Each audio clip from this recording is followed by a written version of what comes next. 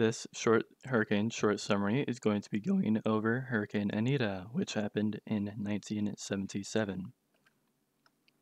Going over this hurricane's formation and landfall, Hurricane Anita was seen as a tropical wave all the way back on August 16th of 77 on the west off of the West African coast. Hurricane Anita would become a tropical depression right around smack dab in the middle of the Gulf of Mexico on August 29th.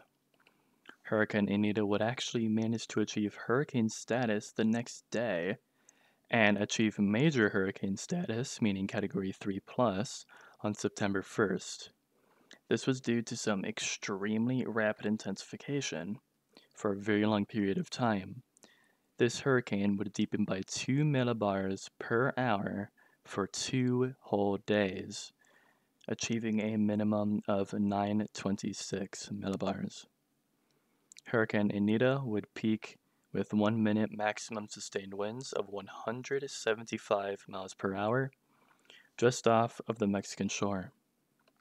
Lastly, Hurricane Anita would landfall only once at Soto La Marina, Tamaulipas State, Mexico. The U.S. impacts are very minor. This hurricane did not make landfall upon the U.S., of course. Hurricane Anita, or at least what would become Hurricane Anita, caused some slight rain on in southern Florida. Some beaches around Texas were closed. Oil companies evacuated rig oil rig employees, and very few windows were broken at South Padre Island. And that is the US impacts out of the way. Like I said, very minor. Again, Anita made landfall in Mexico. Mexico suffered the most. Hurricane Anita, Anita, sorry, would rapidly weaken upon landfall from 175 mile per hour winds just off the shore to only around 100 miles per hour. Not all hurricanes do this. Some hurricanes are better organized or what what have them that allow them to keep their intensity for longer. Hurricane Anita would thankfully hit a sparsely populated region of Mexico. Despite this, landslides due to the heavy rain would kill 11 in Tamaulipas state in Mexico.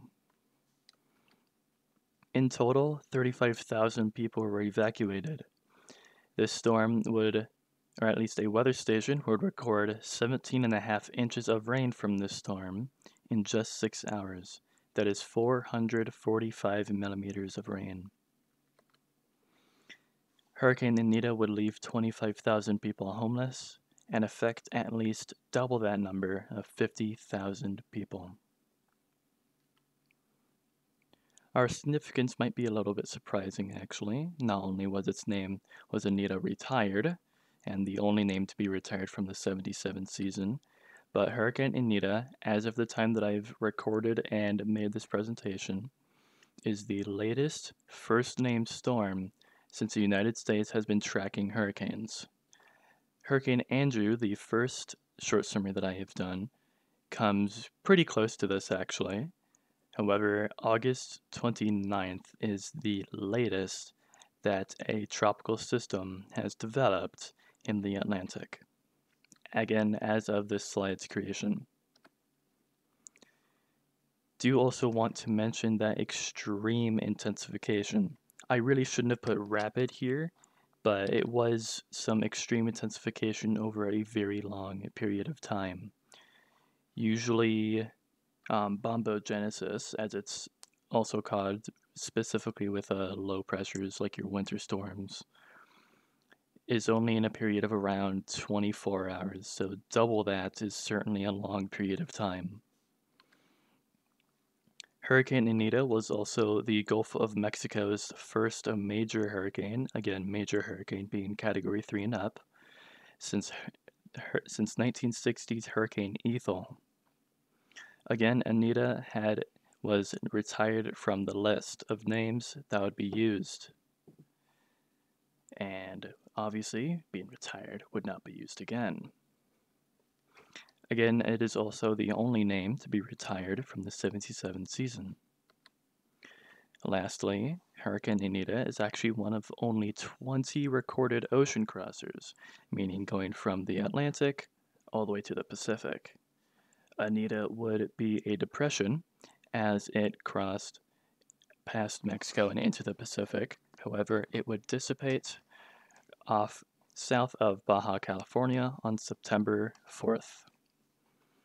And that is all for Hurricane Ethel. Thank you so much for watching, and I hope to see you in the next short summary.